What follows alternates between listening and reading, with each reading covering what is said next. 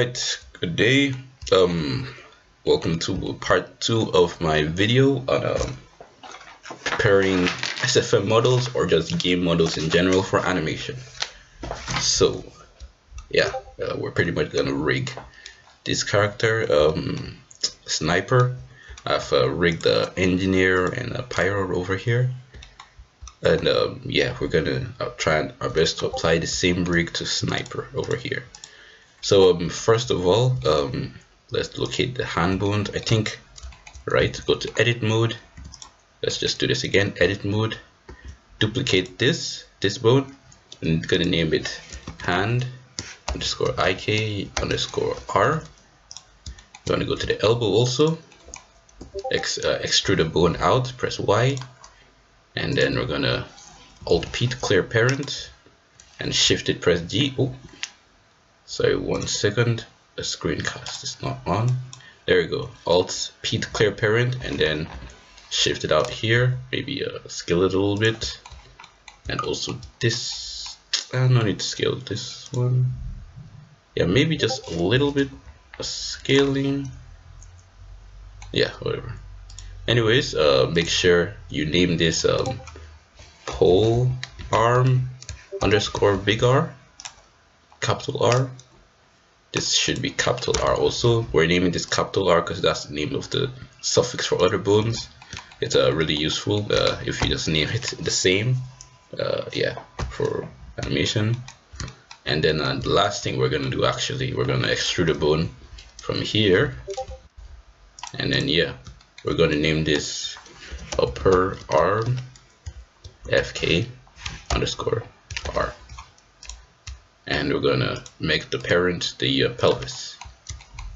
I'm gonna press the shift I, uh, select uh, the IK bone, and then select the hand bone. Press shift I to active. Gonna go to bone constraint properties over here, and then um, we're going to um, select uh, the pull for the, we're gonna do for the pole target. Select the armature. Bone should be the pole arm that we just created. Uh, chain length should be 3 and rotation just check that. Now we have a nice decent oh oh oh. One thing I forgot to do is um, clear this parent. Uh, the parent should be the pelvis. Also uh, this one the parent should be the pelvis.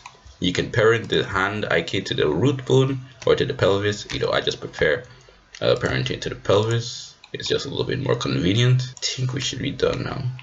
Yes, yes, we are done. So uh, we have this arm fully rigged. So why did we create this bone over here? Well, pretty much you can just uh, over here, shift select this bone, shift select this bone, control P and keep offset. And now we can control the bone somewhat in a somewhat FK motion and which is really cool it's really convenient for me. Anyways we're gonna move on. Uh, we've finished, finished rigging the arm that's all for the arm. And next we go for the feet. The leg IK pretty much. Uh, go near go to edit mode. Just shift select uh, just select this uh, foot bone. Uh, shift D to uh, duplicate. Uh, clear the parent. Make sure you do that. I forgot to do that before uh, extrude the bone from the calf, I believe, from the knee, uh, around the knee side. Uh, clear the parent, remember that. Uh, y, um, just bring it out a little bit here, press G, then press Y, bring it out a little bit here. And then um, make this the parent of the pelvis. That's just a, my preference. Normally you would parent this to the root, or you just parent it to the foot, but I just parent it to the pelvis because that's a little bit more convenient for me, like I keep saying before. I will say that. Anyways, um, yeah. Uh, next thing we're gonna do, we're gonna name these. Very important to name them. I almost forgot about that. gonna name this uh, heel ik underscore r. Next one over here, knee ik underscore r underscore capital R. Next, uh, gonna do the actual ik. Select this bone, shift select this other bone, shift I to active bone, uh, pole target should be this and then uh, should be the knee AKR. It technically should be called pull but just name it something that you would remember. And as you can see, yeah, uh, I think it worked out pretty well. Yeah, pretty much well. Ooh. It worked out pretty freaking decently. Alright, so um, yeah, we'll finish the right side. Uh, now the last thing that I would like to do is uh, add a spine IK. It's kind of like a, what's called again? It's just what I normally use. You can use it if you want. It is kind of optional. Um, optional feature you would want. We're gonna uh, duplicate this bone this uh, last spine bone before the neck yes before the neck gotta rename this to spine IK clear the parent. Alt P to clear a parent or just come here and click exit. And make sure the parent is the pelvis. And you know just you know follow the exact motion you know exit and then make the parent the pelvis make the parent the pelvis the parent. And then um, go to pose mode. Uh, select this bone. We just create the shift select this spine bone that we got it from shift I to active bone there's no pole target for now. The chain length should be at the amount of spine bones. It shouldn't reach the pelvis just before the pelvis. I believe there are four bones. Yes so it should just stop the IK should just stop here. And then um, weight position you uncheck this and then you check rotation. So now every time that you rotate this bone you can make it bigger if you want to that's optional. Anytime you rotate this bone the whole uh, spine moves kind of in a bendy motion. Oh. so you know that's really convenient especially for like walk cycles you know. If you want to do something like this.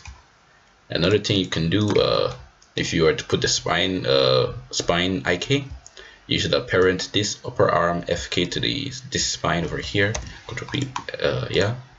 So that you know uh, you don't lose track of this balloon particularly. So now the finger rigs, yes, finger rigs first. Then the next part is the finger rigs. Um, it's a pretty much a simple rig, but it's a little bit you know tedious to do.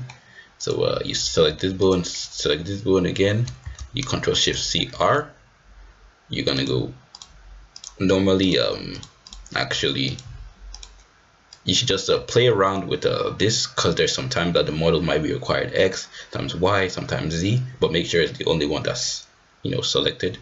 So now as you can see uh, this bone like rotates in this manner it's just kind of like natural. So that's kind of cool. And make sure that you put it on add. Next uh, you do these bones. Control shift C R. X axis. I think you know how a finger moves so all this should technically be a little bit realistic so I'm gonna do the rest of the bones so just uh, yeah watch through. It's pretty much the same process. You see this works the same way. Very nice movement. Alright let's continue. I, uh, make sure you put them in local space both of them. Local space local space. Just a little note. Local space local space. And add not replace yeah. Yeah yeah yeah. So as you can see um, I've finished this uh, rig. Finished uh, rigging all the finger bones at least to some extent. So you might uh, the one this had one really good advantage of this is um, you can just select all these bones make sure that this is on individual origins the rotation or transformation pivot point and all you can do is you know you can just close it and the arm is fully closed yeah amazing right? And then you open it and the arm is you know open you know. That's really cool in my opinion. So you know and uh, I would suggest um, you know binding uh, this particular bone to something. Uh, where is it again? Clear transform yes. All clear transform that's normally what I use for like so let's say if I were to edit this you know in uh, some position and like I just want to like you know maybe I want to just revert it back. I just select this and then clear transform and you know it's already uh, it's all, all back to the default. So just a note. Anyways um I believe I am pretty much done with everything. With uh yeah I've done the right side. So the many parts of the left side. There are actually two ways to do this. Uh, one second so yeah I'm done yeah there, there are actually two ways to do this. It's really a little bit of an issue trying to symmetrize trying to like you know get these uh, bones working on the right side.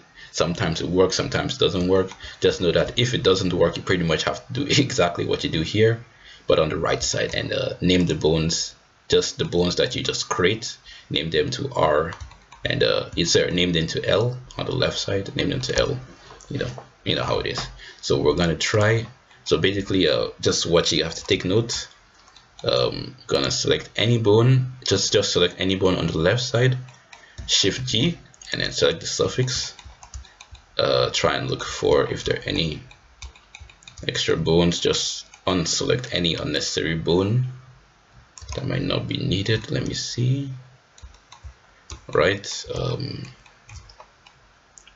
I think oh think we can unselect these. These are the gloves so uh, we're just gonna unselect these. I believe was this? This is the watch. Just unselect this because this is uh, not on this right side. We're gonna need that probably later. Maybe unselect this and unselect this I believe these are the jacket bones. And uh, yeah we're just gonna delete this and uh, don't worry about this for now. Gonna select this. Shift G suffix. As you can see all the bones on the right are selected. Gonna unselect these ones that we don't really need. Select. And then I believe it's time. Shift uh, we're gonna right click symmetrize. So yeah this pretty much worked perfectly. Yeah worked perfectly exactly how I actually needed it. To so these bones that are here um, all you have to do is just uh, reparent them to the reparent them to uh, this hand over here and any other weird bone that you know goes out of place. Make sure that you reparent them back to their original owners. It's just you know it's, it's not really that complicated. Just eyeball it you know. Just uh, yeah. So hopefully as you can see should be okay. Oh. It should be somewhat okay. I think we forgot one more. Over here the watch yeah. Yeah pretty much yeah. Just just check you know. Once you're done just move the hand around. Make sure that everything is okay you know. It's no biggie. And then, yeah we're pretty much done. Yeah this was actually so much simpler than the other models. Oh what happened here? Oh I think we forgot the forgot this leg. All right we're gonna delete this. We're gonna redo uh, this bone over here. Symmetrize. So should work now. Oh that's the vest should work now. Yes yes yes very good. All right uh closing notes closing notes um let me not take most of your time.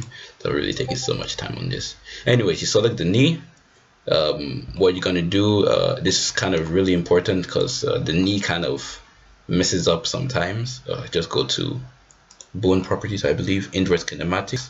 Gonna limit Z. In case uh, by the way in case you can't find something just you can literally just type it and search it on this search bar. Limit Z. Uh, make sure that it is like this exactly. Uh, limit Z is it supposed to be like this? Uh, let me see. Nope, nope, that's not how it's supposed to be.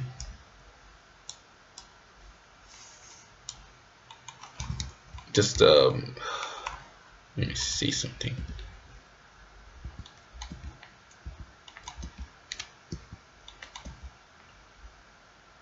Uh, well, yeah, it's a little bit more complicated just because of how the bones are set up yeah. I pretty much yeah I think that this is okay yeah. I think this actually should be okay. So yeah make sure the arc is like this. I really don't know how to explain it though but it uh because the, the bone orientation is not really the best. It's supposed to be straight.